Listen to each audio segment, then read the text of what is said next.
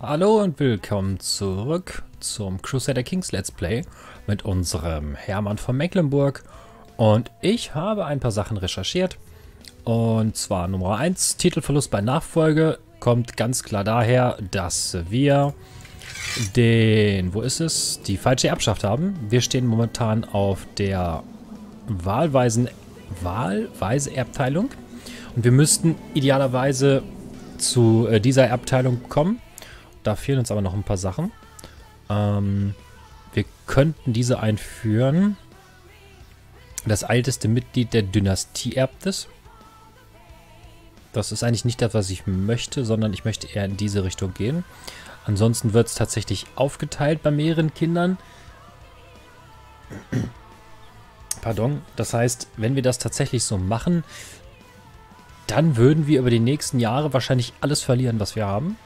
Ähm, sobald unsere erste Tochter wiederum ihre Kinder hat und äh, wieder Kinder hat, dann wird es irgendwann alles aufgeteilt werden. Das heißt, wenn wir jetzt weitere Kinder bekommen, dann würde das alles aufgeteilt. Wir müssten also schleunigst dazu übergehen, dass wir hier hinkommen. Und dazu müssten wir ein Vizekönigreich werden. Ist ein, Vize, ein Vizekönigreich werden. Darum werden wir uns auch nochmal kümmern. Beziehungsweise das werde ich auch nochmal anschauen, wie wir das machen. Das war Nummer 1. Und Nummer 2. Diese Ansprüche können wir, soweit ich das jetzt rausgefunden habe, durchsetzen, indem wir den Typen den Krieg erklären. Und das wäre dann die Jura-Anspruch auf Hamburg. Oder zum Beispiel hier oben auf Schleswig. Dann könnten wir hier auch den Anspruch hier durchsetzen. Und unser Rat würde das dann auch entsprechend äh, billigen. Und wer findet das gut, dass wir da in den Krieg ziehen. Aber da wir ja bereits gesagt haben, als einer der Hauptgründe für unser, oder als einer der, der Hauptregeln für unser Land oder für unseren Herrscher oder unsere Herrscherin, wir werden keine Kriege erklären wird dieser Punkt leider nicht durchzusetzen sein und deswegen kommt er direkt weg. Da kümmern wir uns demnächst drum und unser Krieg, da hat sich immer noch nicht viel getan und deswegen machen wir jetzt auch mal weiter. Eine Geschwindigkeitsstufe hoch. Und dann lassen wir das einfach mal weiterlaufen. Wer kommt jetzt hier? Aha, 55 Leute. 1000, 2000 Leute schon wieder. Hat der nicht irgendwelche Verbündeten hier?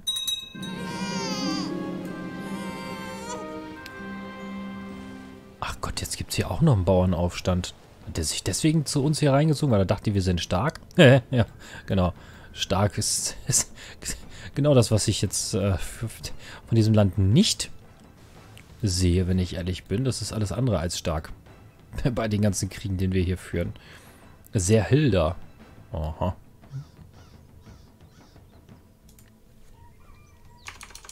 Serafina.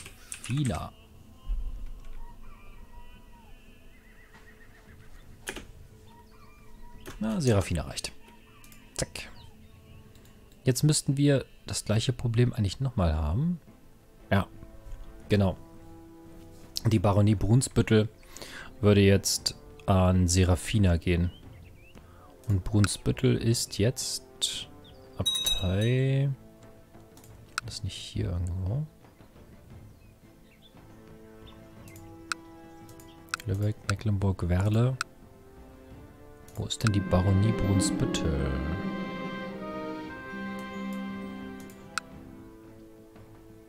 Wismar? Greifswald? Hm.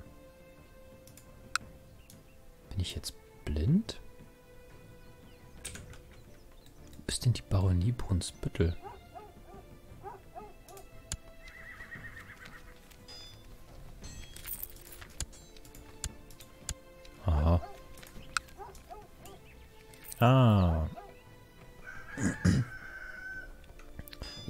Natürlich in der Nähe von Hamburg. Äh. Okay, gut.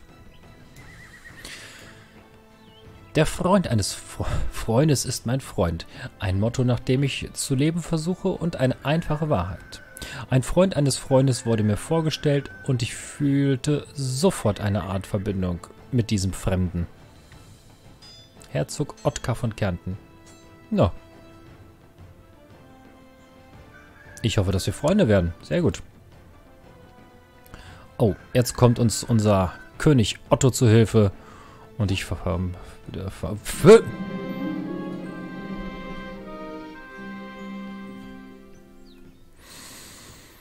okay, eins nach dem anderen. Wir hatten ein paar Differenzen und Streitigkeiten, doch als wir auf die Gemeinsamkeiten stießen, genoss ich es tatsächlich, mich mit Herzog Arnulf zu unterhalten. Ich sollte daran denken, meinem Freund zu danken, dass er mich Herzog Arnulf vorgestellt hat. Es ist schon eine ganze Weile her, dass ich so einen Mann gefunden habe. Ja, sehr gut. Aber König Otto von Deutschland hat den Titel Herzogtum Münster erschaffen. Herzogtum Münster? Aha. Dann. Und äh, was sehen meine müden Augen? Fünf.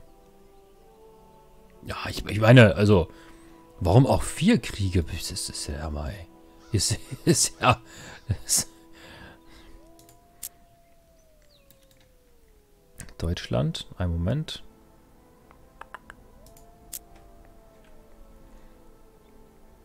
Das heißt, das ist Österreich hier. Okay.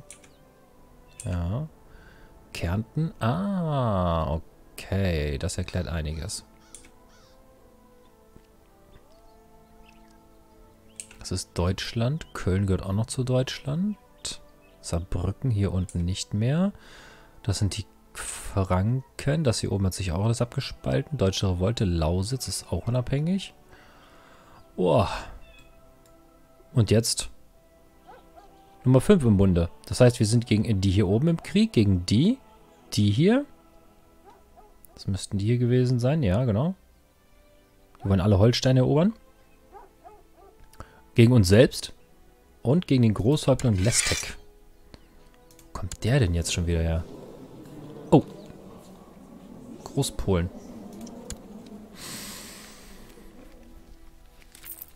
Ach, du ahnst es nicht. Das, das, das ist der Hammer, ey. Und wir sitzen mit unserem kleinen Mecklenburg mittendrin. Und dadurch, dass wir nicht kriegerisch veranlagt sind, haben wir uns ja auf die Fahnen geschrieben, dass wir einfach nur zugucken. Na dann, würde ich sagen, gucken wir zu und schauen, was passiert. Ich habe Kunde vom Hofkaplan Sigmund erhalten, dass er bei der Suche des Artefakts Fortschritte macht. Ja, sehr gut. Dann können wir uns die Nachricht nochmal angucken. Unsere Besitztümer Lübeck werden belagert, auch klar. Graf Ermich von Weinsberg wurde aus dem Kerker von Otto entlassen. Ja, dann ist es so. Sigmund ist jetzt als sehr merkwürdig bekannt, unser Hofkaplan. Okay.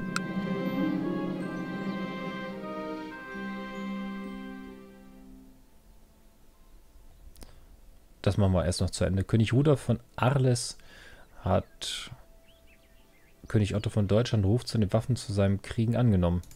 Ah. Bürgermeister Hugo von Aschaffenburg wurde von König Deutsch, Otto von Deutschland inhaftiert. Mhm. Da unten. Okay. Das macht Sinn. Ähm, kriegen wir denn jetzt hier Hilfe? Von irgendwem? Wir haben jetzt hier 500 Mann, 300. Ja. Nö.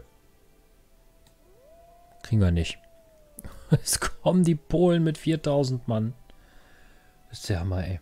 Das ist der Hammer.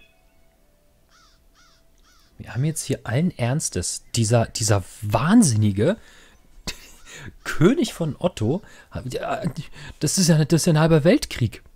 Im Jahre 943. Und da soll noch mal einer sagen, der Erste Weltkrieg war 1000 Jahre später. So ein Quatsch. Oder in dem Fall der Zweite. Nicht in diesem Spiel. Oh Mann, oh Mann, oh Mann, oh Mann, oh Mann. Hermann, Hermann, du tust mir leid. Denk nur ans po äh, Kinder kriegen, denkt an nichts Böses und äh, dann sowas. Oh, oh, oh. Ich glaube, wird ein Komplott. 57 Prozent. Wieso wird sich auch keiner anschließen? Wir hätten ja gesagt, töten tun wir.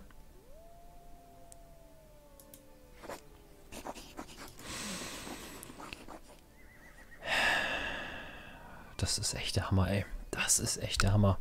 Okay. Seit geraumer Zeit fällt mir der jämmerliche Zustand von Heike von Weißhaut auf. Na gut, das steht ja schon im Namen drin. Ich habe gerade erfahren, dass ihre Schmerzen und Erschöpfungszustände durch Grippe verursacht werden. Oh mein Gott. Heike, wie geht es dir? Schwächlich, Grippe, Kampffertigkeiten mit Gesundheit minus 10. Gottes Willen. Heike, du bist eins. Eins? Na gut. Nein, selbstverständlich werden wir sofort einen Arzt kommen lassen. Das ist unsere Tochter. Banditen überfielen die Belagerungsarmee bei Travemünde und töteten viele Soldaten. ja, na dann. Hermann führt die Truppen persönlich an. Na. Hermann, tausend Mann führst du in die Schlacht gegen fünf Gegner? Da. Hermann, du bist die, die äh, also, das Typ ist wahnsinnig. Einfach wahnsinnig. Herzog Gero wurde von einem gemeinsamen Freund vorgestellt und wir redeten eine Weile gemeinsam. Wir hatten unsere Differenzen und Streitigkeiten, doch dann fanden wir Gemeinsamkeiten und ich hatte Spaß daran. Herzog Gero scheint eine anständige Person zu sein. So, mal gucken, wo der herkommt. Brandenburg. Ja, Mensch. Top. Also direkt um die Ecke. Sehr schön. Ja. Selbstverständlich. Ich kann weder seine Ansicht noch ihn leiden. Gucken wir uns den Typen mal an. Christine. Oh ja, die werden wir als nächstes verführen. Christine verführen. Ah! So machen wir das. Noch mehr Kinder. Kann nie schaden. Und parallel ich werde bei Herzogin Christine sämtliche Künste der Verführung einsetzen, bis ich sie in den Finger gewickelt habe. So machen wir das.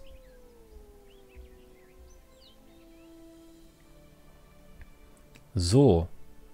Mittlerweile fünf Kriege. Tja, alle bei fast minus 100 Prozent. Das ist extrem uncool. Nicht für uns, für König Otto. Niederlage, das klicken wir einfach weg. Das äh, ich, ich glaube, das ist mittlerweile egal. Eine gewohlplatzierten Worte, die zum Gerücht werden könnten, besser wirken als ein Liebesbrief. Herzogin Christine hat meine Nachricht wohl erhalten, doch heute fand ich eine Haarlocke mit ihrem persönlichen Siegel in meinem Gemächern. Ja, sehr gut. Solange es kein Nagel ist. So, was ist jetzt hier? Unser König... Yes, lasst mich doch mal König Otto kämpft für Holstein. Sehr gut, König Otto. Statt die Befehlshaber auszubilden, hat Marschall Adalbero gegen sie gekämpft. In euren Reihen herrscht wahrlich ein großer Mangel an Disziplin. Wie bitte?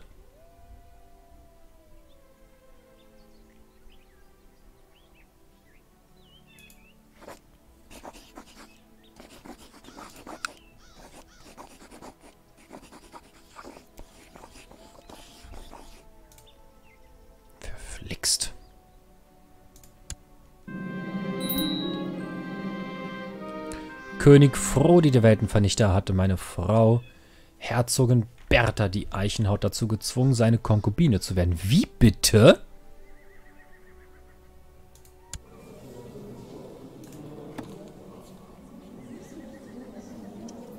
Wer zum Henker ist er? Ach, du ahnst es nicht. Das ist ja der Hammer. Jetzt treibt diese Scheusal es mit meiner Frau? Das ist der Hammer.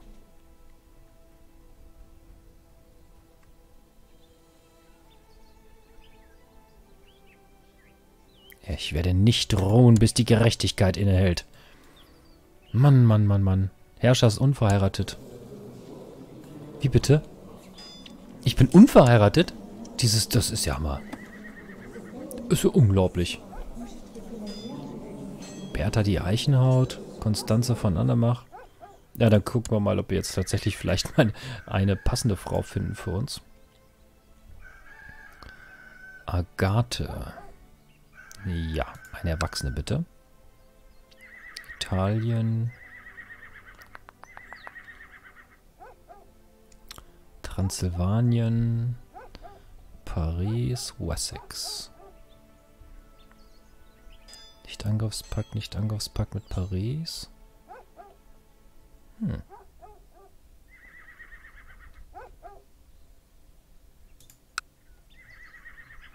Kann ich nach diesen Nicht-Angriffspakten sortieren? Nee, ne? Das ist ja doof. Naja, auf jeden Fall erstmal die Jüngsten ganz oben.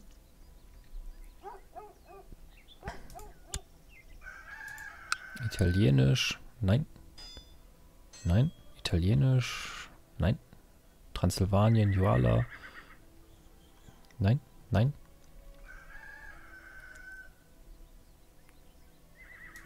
Wo zum Henker ist das denn? Nein, verdammt. Tura. Oh Gott. Das ist ja wirklich am ADW. Nee, nee, nee, nee, nee.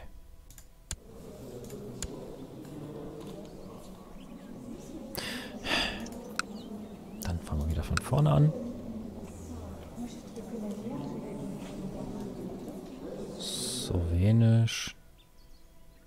Italienisch. Walisisch. Angelsächsisch.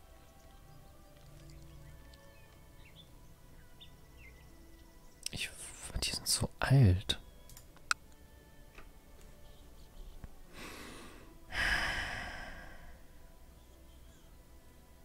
Besessen. Oh Gott, nein.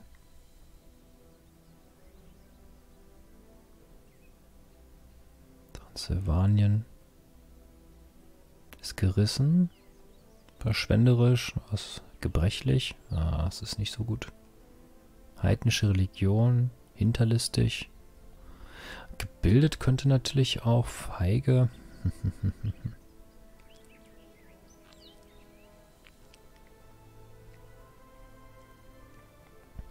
Ungarn. Mhm. Was kann die gute? Sie ist feige, zynisch, stur, ehrgeizig und schüchtern. Ah ja, die sieht ein bisschen komisch aus. Ich würde sagen, wir probieren es mit, mit ihr hier. Heirat arrangieren.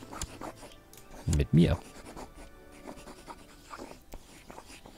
Ja, na dann. Dann wird geheiratet, würde ich sagen.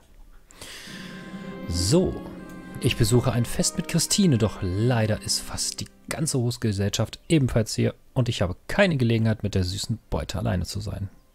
Nach Verbündeten suchen. Wir treffen uns am Fluss. Ich akzeptiere. Ja, sehr schön.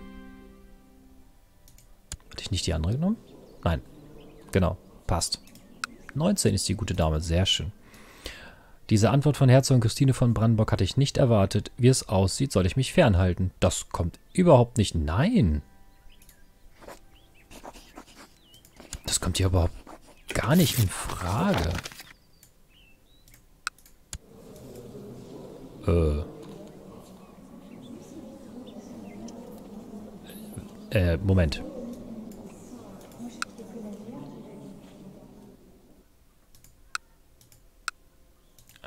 Ah, aha. Kann es sein, dass er gerade abgesetzt wurde? Gero, nein. Sehr spannend. Sehr, sehr spannend. Verschwörungshör morden, Christine verführen. Kann ich nicht. Das ist ja unglaublich. Okay. Hallo Hermann. Ich würde euch gerne zu einem Treffen mit mir und der kleinen Kleingruppe von Freunden einladen, um gemeinsam zu essen, zu trinken und die Welt da draußen eine Weile zu vergessen.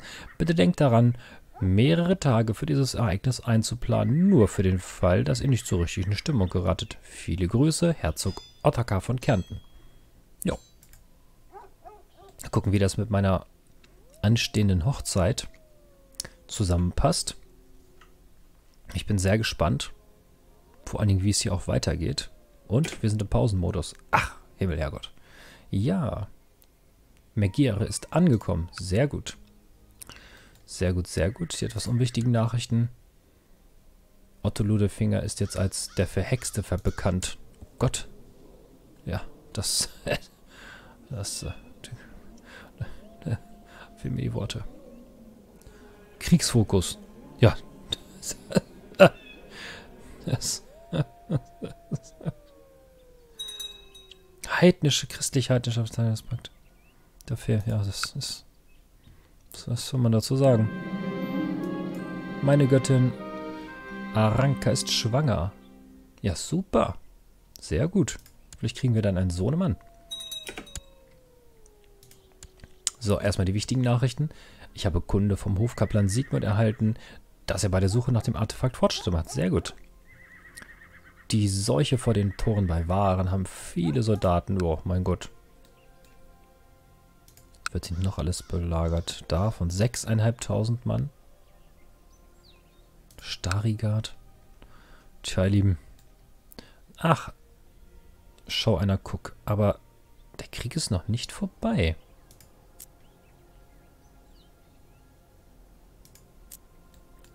Ah, aber die Hälfte. Das hat sich ergeben, aber der Teil ist immer noch in der Revolte mit drin. Von Tankmar. Mein nächster König Otto möchte mich daran unterweisen, wie man Truppen anspornt.